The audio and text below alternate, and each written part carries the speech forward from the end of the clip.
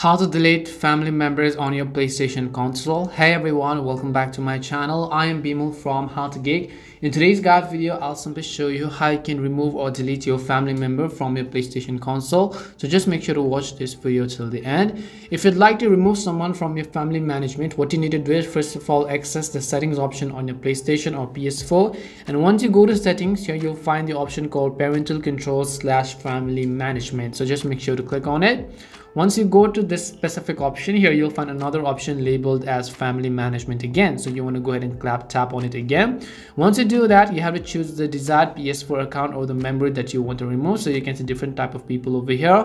What you want to do is you simply want to select the member you want to remove and you'll see these menu options over here. You'll find the option called remove from your family option from the bottom. All you have to do is click on remove from your family option in order to delete a specific family member. And that's all it takes to delete a family member from PlayStation We hope the video was really helpful and if it did help you then make sure to leave a like and subscribe to our channel. If you've got any more questions feel free to leave them down. Thank you very much for watching and see you soon in our next video.